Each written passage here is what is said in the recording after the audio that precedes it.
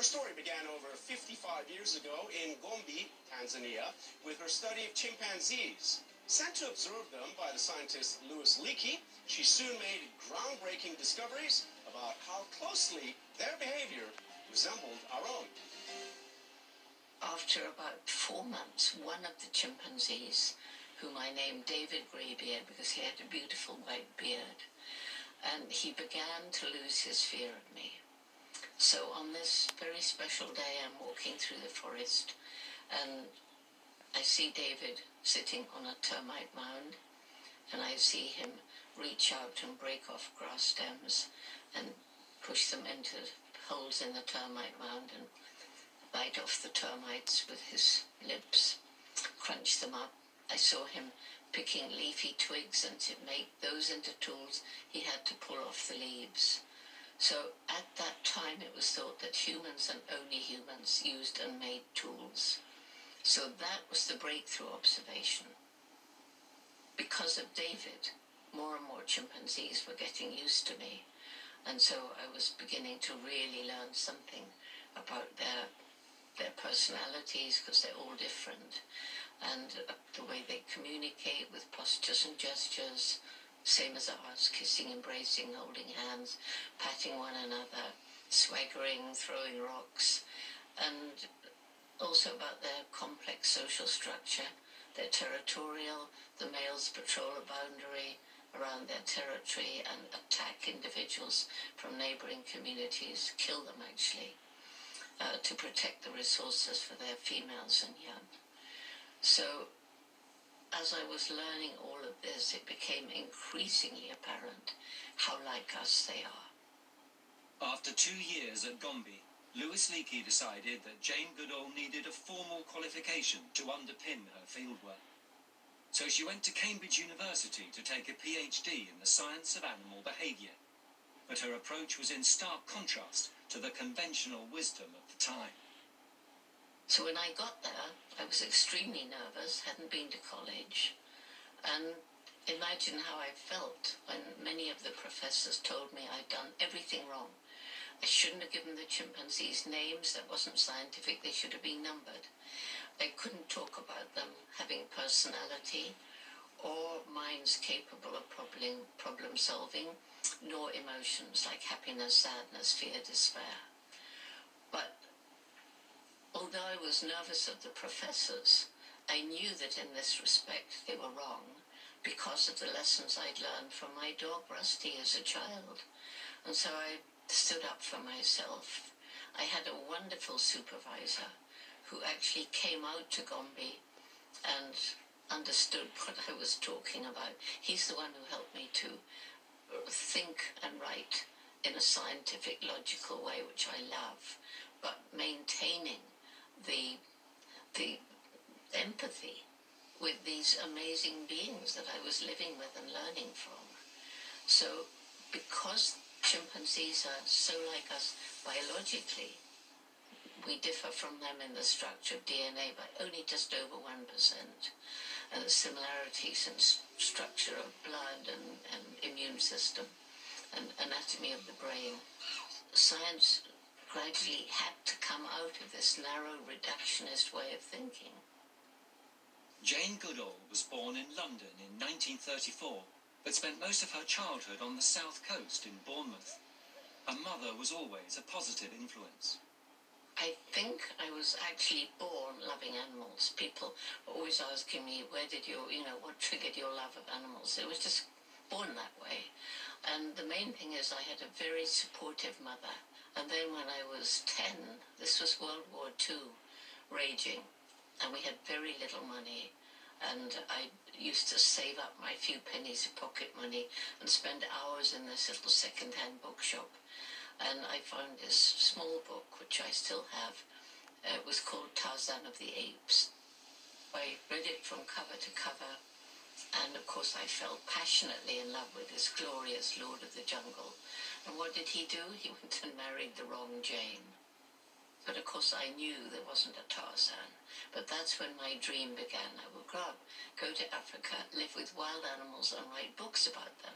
Because in those days, women didn't become scientists going out in the field. In fact, there weren't really any men going out in the field to study animals. Everybody laughed at me. But it was my mother who said, if you really want this, then you're going to have to work very hard. After her PhD, Goodall went back to Africa to continue her work. And in 1977, she set up the Jane Goodall Institute to protect chimps and try and save their habitats. It was shocking to see right across Africa chimp numbers were plummeting, forests were being cut down, the bushmeat trade began, the commercial hunting of wild animals for food, foreign logging companies and mining companies were coming in, building roads into the forest. Human populations around the forest were growing and clearing more and more forest to live on, to grow food, to graze cattle and so forth. Goodall has spent over 30 years campaigning to preserve the environment.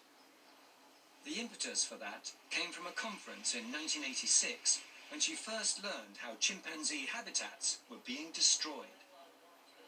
People were struggling to survive. The land was overused and infertile. That's when it hit me. If we don't do something to improve things for these people, to help them find ways of living without destroying the environment, then we can't even try to save the chimpanzees. And I went to that conference, which was four days as a scientist, had my PhD, had a research station, an amazing life, and I left as an activist. This led to a change of emphasis for the Jane Goodall Institute.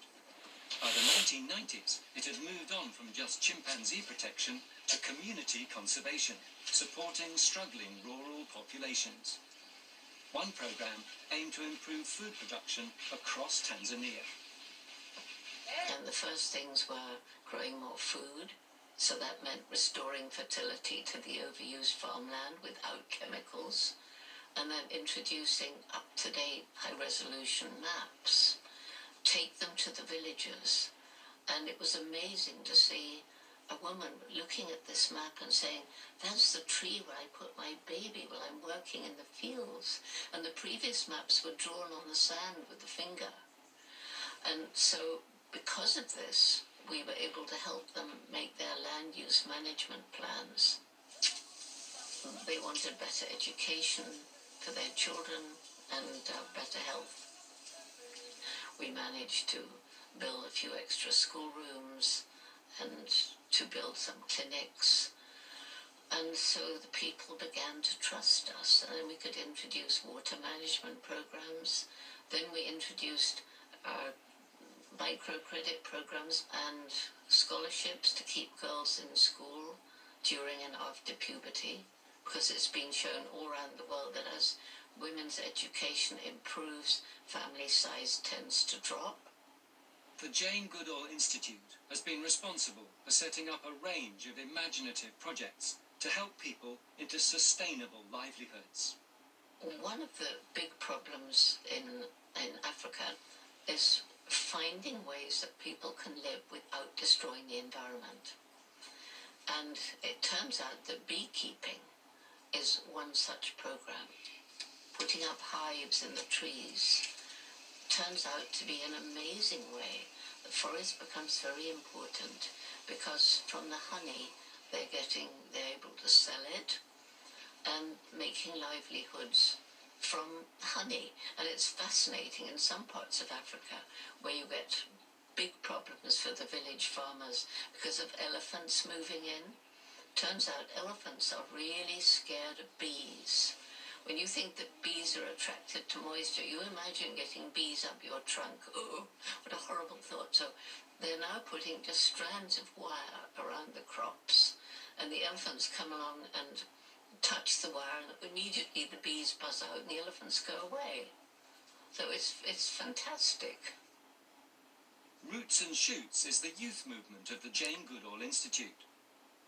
Founded in Tanzania in 1991, it now operates worldwide as a vehicle for youth to act to prevent species loss and to practice conservation. The main message every individual matters makes a difference every single day. And we decided that each group would choose a project to help people, a project to help animals, and a project to help the environment. And so the projects that they choose vary enormously depending on which country they're in, if they're in a city or the country, if they're rich or poor, and how old they are. Roots and Shoots has been very active in South Korea, and there's a group there that is studying an endangered species of frog. They found a, a new group of them that weren't thought to exist. We got about 2,000 groups across China, and they're doing tree planting. Uh, there's a lot of cleaning up the environment, moving trash, educating uh, their parents. They are learning about the importance of preserving the forest because of its capacity to absorb CO2 and give out oxygen. Since 1980, greenhouse gas emissions have doubled, bringing irreversible global warming. So today, much of Jane Goodall's campaigning is focused on climate change. Everywhere I was meeting young people who'd lost hope. And when I asked them, why do you feel like this? Well, because you've compromised our future and there's nothing we can do about it. So we have been stealing that future. We're still stealing it today.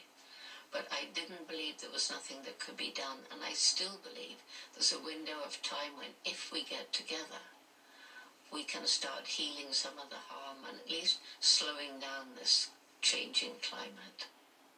The problem is that unless we can alleviate poverty, then people absolutely cannot make ethical choices because in an urban area you have to buy the cheapest food. You can't afford to ask where it came from.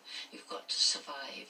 If you're out in, you know, in, in rural areas, you're going to cut down the last tree in your desperate effort to grow food or make charcoal or catch the last fish because you have to do so to survive.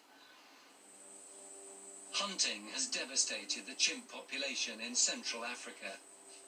Goodall's Tchimpounga Sanctuary cares for 148 orphaned or injured animals.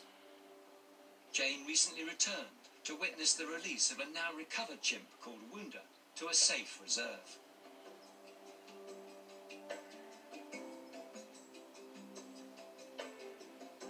It was the most amazing thing that's ever happened to me.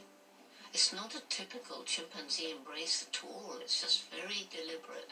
I think I've always had an ability to connect with animals on a different level from from normal. And I suppose she sensed something. I don't know. I can't explain it. Wounda had been near to death before her rehabilitation. But to Jane Goodall, there's no such thing as a hopeless case, and she believes that that principle must also be applied to our environment. The most important message that I would have for everybody who's listening, watching, is that you make a difference every single day.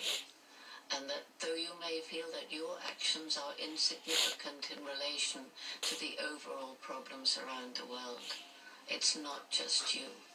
There are more and more, thousands, hundreds of thousands of people around the world who are making ethical choices every single day.